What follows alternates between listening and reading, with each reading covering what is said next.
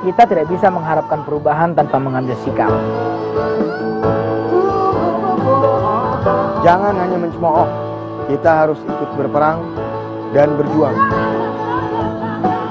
demi masa depan kita, bangsa Indonesia.